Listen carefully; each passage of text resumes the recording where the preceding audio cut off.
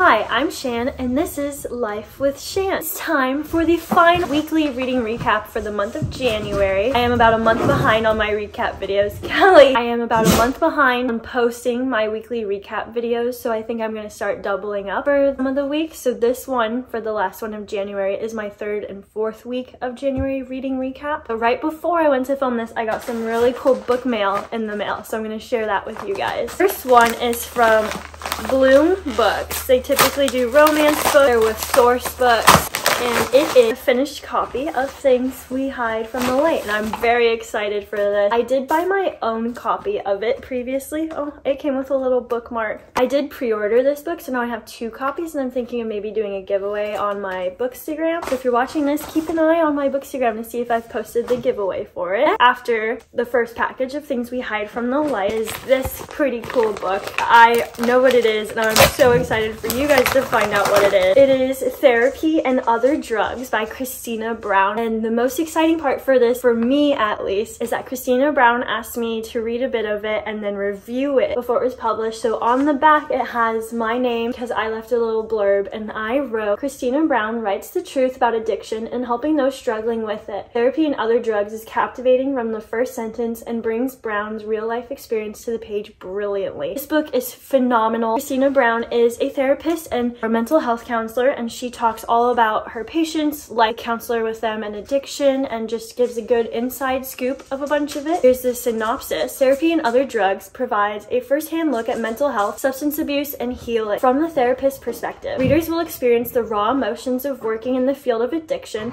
from relapse and overdose to sobriety and survival. Author Christina Brown explores the intersection between familial and professional experiences, mental health, and substance abuse. Readers will gain understanding on how therapists have to simultaneously balance between taking care of others, prioritizing their own mental health. Stories of loss, heartbreak, and the perseverance of those struggling are highlighted throughout this eye-opening memoir. It's a great read, even if you're not wanting to get it because I reviewed it. And I'm so excited for this one. Thank you, Christina, for giving me this opportunity and for sending me this gifted copy. I will be purchasing other copies, and my mom has also said she will be purchasing a copy. Done with the book mail for today, the last two weeks of January. The first book for today is The Nightingale by Kristin Hannah. This is a very very popular book, and rightly so. I read this book for the Bookish Book Club where we talked about it. It is a historical fiction, and I know I'm not a huge historical fiction fan, so I was a little deterred by it, and it's a little bit thicker, but it's absolutely beautiful. As you read it, you feel like you're watching a movie. You feel like you're there. You know the characters. So well done. It follows two sisters during World War II in France. They're separated. They both have different political views and ways of going about how to handle the war and people intruding on their small town and coming into their home is phenomenal. I don't want to give away too much because it was such a good book. I really hope you pick up The Nightingale. It is in the process of becoming a movie. It's supposed to come out last December and it didn't, so hopefully it does come out this year and I'm very excited for it. It was a great read. I hope you'll pick up The Nightingale by Kristin Hannah. Next was Hello Stranger by Katherine Center. I got this one on NetGalley, so thank you to the publisher for this gifted copy. I adored Hello Stranger. It is not my favorite Katherine Center book, but it was so well written. She always keeps a captivating story and there's more to it than just romance or the rom-com aspect. It follows a young girl who's kind of lost in her world and trying to figure out what she wants to do with her life with work, friends, family, and then she ends up getting into an accident. Her recovery is not like a normal recovery. She goes through amnesia, can't identify people,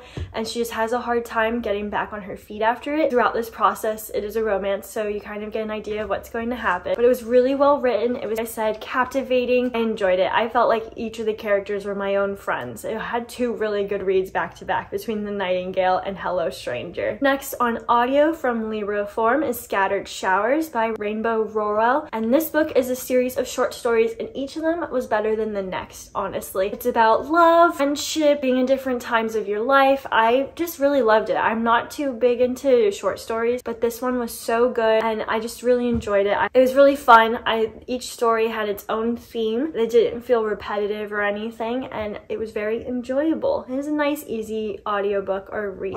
Next was From Scratch, which was a beautiful memoir about love and Italy, food, being famous. It was so good. It is now a movie on Netflix. I highly recommend either reading the story or watching the movie. I'm hoping to watch the movie this week. But From Scratch just was heart-wrenching. It was really well written. I know I'm not giving too much away about these books this week, but I loved each of them for their own reasons and I hope you'll like them too. From Scratch I did on audio. It was a pretty easy audio book. I really enjoyed it. I hope if you pick it up that you enjoy it as well. And after From Scratch on Kindle, I read What Have We Done by Alex Finlay. And man, this they do a great job with their books, Alex Finlay. And then you get to slowly know their secrets, what's going on with each of them, what happened back then, and what's happening now. It's just the way Alex Finlay writes the plots as they come together so beautifully. It's like I can never find plot holes with their book. Alex Finlay also has great characters.